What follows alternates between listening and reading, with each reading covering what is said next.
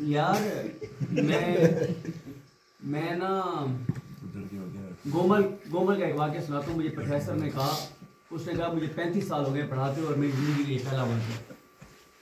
गोमल में जब मैं पढ़ रहा था तो मुझे, ज़ाहिर है वो उधर यूनिवर्सिटी बंद हो जाती थी, क्योंकि धमाका होता था, पाँच दिन के लिए बंद यूनिवर्सिटी बंद, दस दिन के लिए बंद।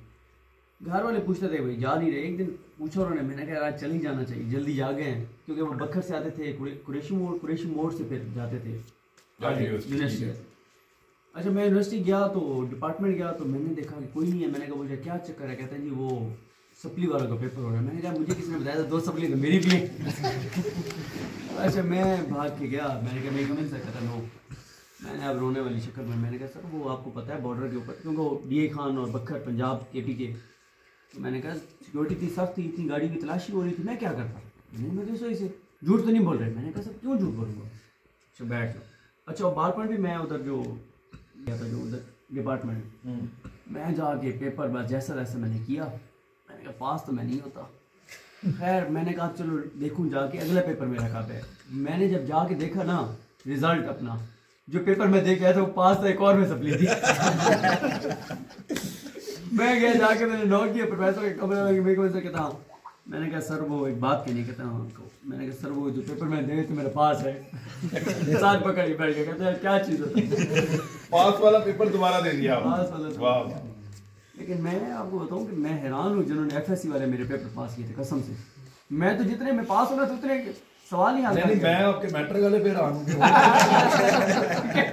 के बाद मैट्रिक आगे निशानी चाहिए इन्होंने भाई आप कैसे थे तलीम में? स्कूल की कॉलेज की तलीम में? अभी तक तालीम ही हासिल कर रहे हैं। कुछ डांट डपट के अभी तक रोज़ाना तालीम हासिल कर रहे हैं। रवायती जो तलीम होती है रवायती तरबियत तालीम दोनों हासिल कर रहे हैं।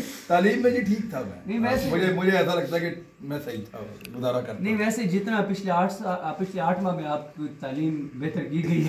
तरबियत- प्रैक्टिकल गया। तरबियत शायद ज़्यादा Practical। कोशिश की गई। ये पे खसूसी तवज्जो हाँ, दी जाती है। हाँ, खुसूसी देखिए जो स्पेशल तालब इल्म होते हैं उन पर ज़्यादा तवज्जो दी जाती है। इसके बावजूद है हम सिर्फ़ सॉफ्टवेयर तक रहे हार्डवेयर की तरफ़ नहीं गए लेकिन तालीम ऐसे बहुत होती है। प्रैक्टिकल भी तो होता है ना अच्छा हमारे ना यहाँ पे हमारे कुछ जर्नलिस्ट हैं वो बहुत पुराने अखबार में काम कर रहे हैं हर जगह पे। उनका ऐसा शानदार एक्सपीरियंस है और वो खबर ऐसे ज़बरदस्त तरीके से निकाल के लाते हैं। और उनको स्टोरीज का आइडिया भी होता है। लेकिन आप उनकी अगर एजुकेशन पता करें तो वो उनके पास नहीं थी। यानी कोई प्रॉपर डिग्री नहीं थी। ग्रेजुएट भी आपको वो नहीं मिलेंगे लेकिन वो इसके बावजूद उन्होंने क्योंकि उस्तादों से काम सीखा है कई कई साल उन्होंने मेहनत की है करते कराते हुए यहाँ तक पहुँच गए। अभी ज़रा सिचुएशन जब तालीम याफ्ता बच्चे बच्चियाँ आए ना तो उसकी वजह से तब्दील हुई है। पाकिस्तान में जो जर्नलिज्म है वो अभी पनप रही है। ये लड़ाई हो रही है पुरानी और नई जर्नलिज्म के बीच में। लोग ये कहते हैं कि सोशल मीडिया आ गया लोग ये कहते हैं कि ये नया मीडिया है ये ज़रा फट है। ये बहुत बातें करता है ये ऐसे है वैसे। है बात वो नहीं है। बात ये है कि जर्नलिज्म के अंदर नस्ल नहीं आ गई है और वो थोड़े पढ़े लिखे लोग हैं। वो वो चीज़ें पूछ लेते हैं जिनको नॉर्मली हमारी सोसाइटी के अंदर समझा जाता था कि ये मायूब है ये बात आप नहीं कर सकते। यानी ये जनरेशन का गैप मैं इसको समझता हूँ। मैं इसको कोई जर्नलिस्टिक एथिक्स की खिलाफ वर्जी नहीं समझता। ये जनरेशन का गैप है। यानी अब बच्चे वो सवाल करते हैं जो हम अपने माँ बाप से नहीं कर सकते थे। तो इसी तरह जो नए जर्नलिस्ट हैं वो लोग वो सवाल करेंगे जो पुराने नहीं कर सकते थे या उन्हें लगता था कि ये बुरी बात है। मैंने जब पहली दफ़ा नवाज़ शरीफ साहब से सवाल किया तो मुझे गिल्ट में डाल दिया नवाज़ शरीफ साहब के बीट रिपोर्टर्स ने 2007-8 में। ये आज से 14-15 साल पुरानी बात थी। इस 15 साल में इतनी तेज़ी से ज़िंदगी आगे बढ़ी है कि हम सोच भी नहीं सकते। मुझे गिल्ट में डाल दिया मैं जहनी तौर पे परेशान हो गया कि शायद मैंने कोई गुनाह कर दिया है सवाल पूछ के सीरियसली मैं आपको बता रहा हूँ कि मुझे ये जुमला भी कहा गया कि तेन जुम्मा जुम्मा अठ दिन हो तो सवाल ही पूछ लिया ਅਸੀਂ ਇੱਥੇ 4-4 साल हथ नहीं खड़ा किया सवाल पूछने वास्ते मुझे इस तरह के जुमले और जैयद सहाफियों ने बोले कि मियाँ साहब के आगे सवाल करने के लिए खास क्राइटेरिया चाहिए तुम्हें वो बगैर इजाजत की बगैर तय किए हुए बगैर एक लंबा अरसा गुजारे हुए, बगैर अपनी वफादारी साबित किए हुए, तुमने सवाल कैसे कर दी मैं जाती तौर पे गिल्ट में चला गया, क्योंकि मैं अकेला था, मुझे ऐसा लगना शुरू हो गया, शायद जर्नलिज्म यही होता है जो सारे मुझे समझा रहे हैं। और वो बाकी किताबी बातें। तो वो उस दौर में अल्लाह ताला उनको गई के रहमत करे, रुमान एहसान साहब आपको याद होगा, एक डॉन में हुआ करते थे। बड़े सीनियर जर्नलिस्ट थे, बड़े अच्छे इंसान थे। उन्होंने मुझे कहा, उन्होंने कहा, जो तुमने किया ना बेटा, वो जर्नलिज्म है। और जो ये सारे तुम्हें सिखाना चाह रहे हैं ना, वो फेवरेटिज्म है तो आप अपना काम करते रहेंगे, आपको दबाते रहेंगे, धमकाते रहेंगे करते कराते फिर आदत पड़ गई मुझे भी, और और लोग भी आ गए, नए नौजवान लड़के लड़कियाँ आ गए तो एकदम चीज़ें बदल गई।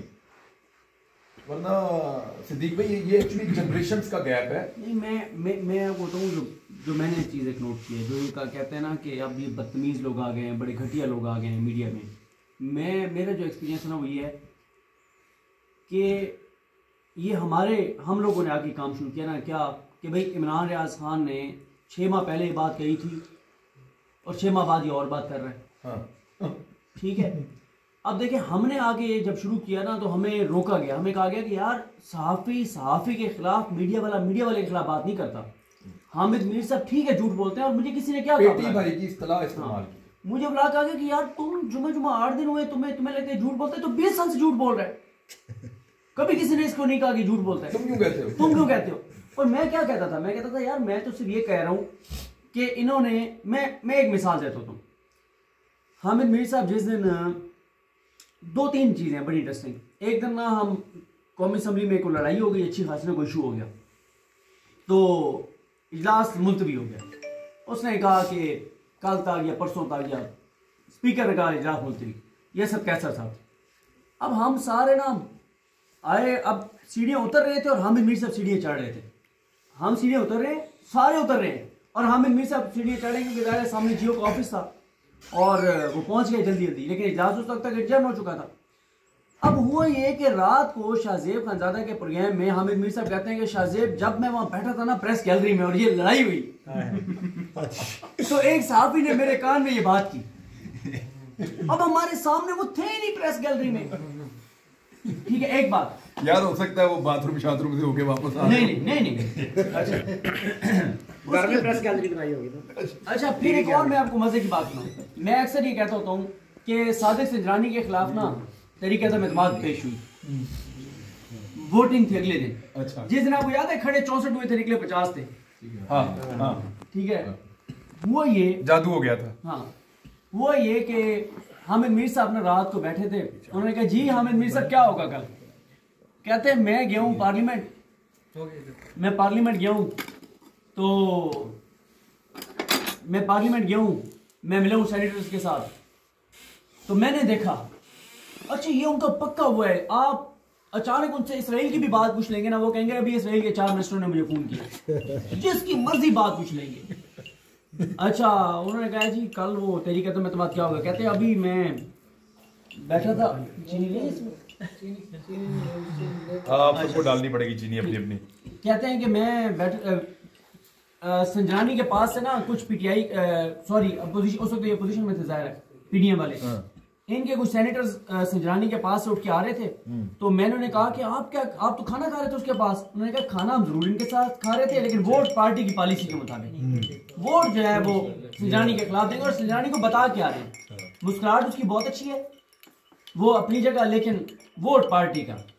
तो नंबर पूरा अपोजिशन का और बन जाएँगे। वो जो फौत हो गए हैं। आ, ठीक है हाँ। साहब। तो कल जो है ना ये पहले वाला जो हाँ, पहले वाला पहले वाला। अगले दिन शिकस्त हो गई। बिजनजो साहब को संजनानी साहब जीत गए। फिर उसी प्रोग्राम में बैठते उन्होंने क्या हुआ है हामिद मीर साहब? कहते हैं जब पार्टियाँ अपने नजरियाती लोगों के बजाय अजीब अजीब लोगों को ऑब्लाइज करेंगी सेनेट की टिकट देंगी सेंटर बनवाएँगी तो यही होना था नज़र आ रहा था। मैं कहता हूँ यार चौबीस घंटे तो अपने बयान पे कायम रह जाओ ना। ठीक है फिर मैं ये कहता हूँ कि आपने रोज टीवी पे यार आप मुझे एक बात बताएँ वो सेनेटर्स अपने बयान पे कायम रहे? हमारे यहाँ पे ना देखें हमारे यहाँ पे प्रॉब्लम यह है कि कोई भी अपने ऊपर तनकीद सुनना ही नहीं चाहता। जी सर। हम ये चाहते हैं कि अकाउंटेबिलिटी दूसरे महकमे की दूसरे बंदे की हो। मैं मेरा महकमा मेरा पेटी भाई सेफ़ रहे। एक दूसरे के बारे में हम सवाल नहीं करते और उसके ऊपर उंगली नहीं उठाते। हम अपनी अपनी क्लास को बचाने की कोशिश करते हैं। जैसे पुलिस वालों में मुझे पेटी भाई को कुछ नहीं कहना। ऐसे ही सहाफियों के लिए भी हमारे पेटी भाई का लफ्ज हम्म। बड़ा मशहूर है। मुझे कई दफ़ा कई जर्नलिस्ट हैं वो कहते हैं कहते हैं यार असं ताकि साफी भाई हाँ तो छोटी जी ज़्यादा साढ़े को हो गई है। ये जरा मेहरबानी करो ना सा टुड़ो। भैया आपसे ज़्यादा हो गई है तो आपके साथ कैसे चल सकते हैं यहाँ पे सर एक छोटी सी बात, हमारे टीचर हैं, एक चैनल के ब्यूरो चीफ भी हैं।